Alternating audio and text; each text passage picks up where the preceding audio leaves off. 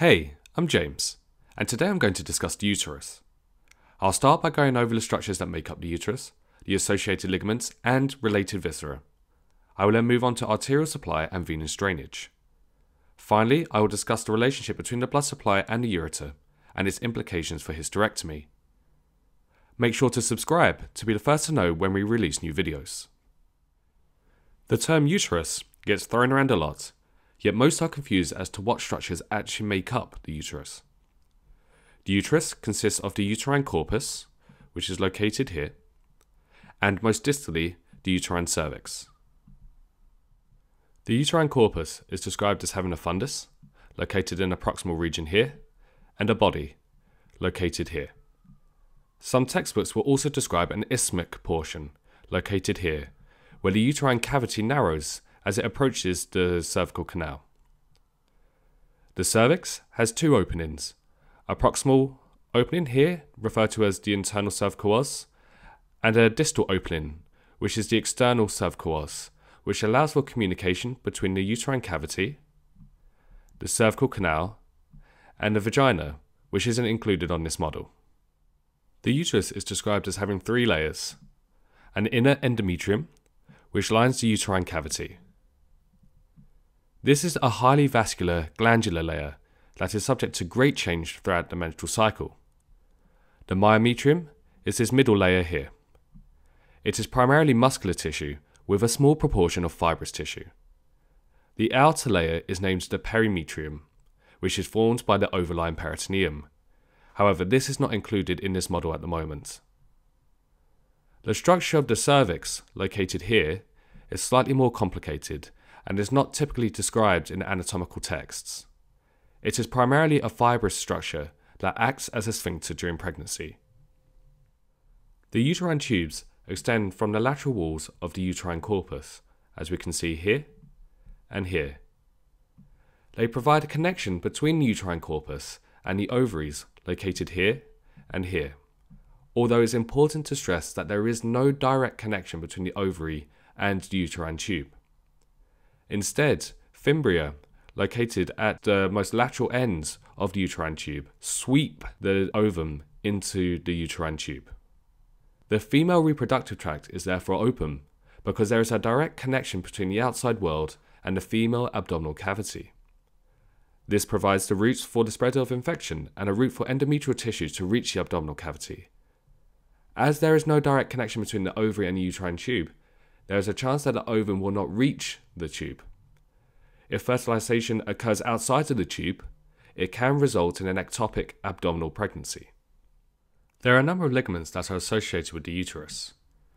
The ovarian ligaments, which is located here, and the round ligaments, can be considered as one continuous cord that runs from the ovary to the corpus to the labia majora. The round ligament leaves the pelvic cavity via a deep inguinal ring, traverses the inguinal canal, leaves through the superficial inguinal ring, and then inserts into the labia majora. The ovarian and round ligament are remnants of the gubernaculum, which is the embryonic cord-like structure that guides the gonads through the inguinal canal. Normally, descent of the gonads will only occur in males. The other ligament that can be considered at this point is the broad ligaments. The uterus is a subperitoneal structure similar to that of the bladder and the rectum, and so the peritoneum, which we can see has been added here and here, drapes over the uterus. The peritoneum that drapes over the uterus forms the perimetrium, which is considered the external layer of the uterus, which we can see here. The peritoneum not attached to the uterus is the broad ligaments, the broad ligament can be further subdivided in accordance with the structures it is associated with. So at the moment, we can see the peritoneum here and here can be referred to as the meso-ovarium and mesosalpinx respectively because they're associated with the ovary and the uterine tube. If we rotate the model, we can see the final part of the broad ligaments, which we can refer to as the mesometrium, which is here. So from this point on, we are going to consider the visceral and structural relations of the uterus. On the screen, we can see the uterus has been hemisected, and the hemisected bladder and rectum have been added.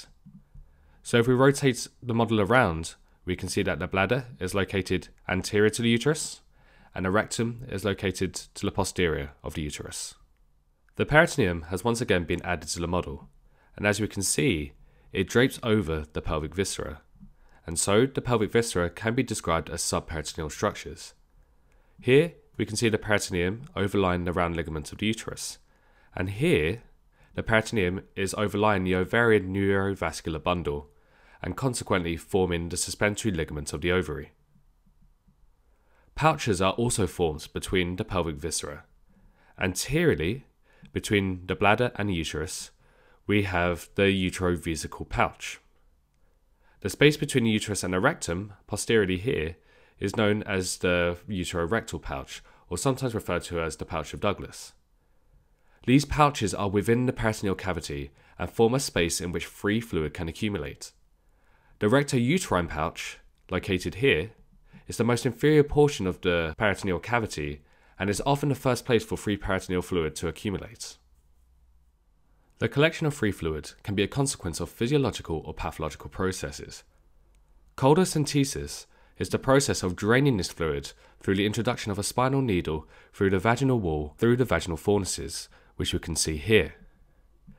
The fornices are formed due to the projection of the cervix, which is here, into the vaginal cavity, which forms a continuous lateral recess around the outside of the cervix and the vaginal wall.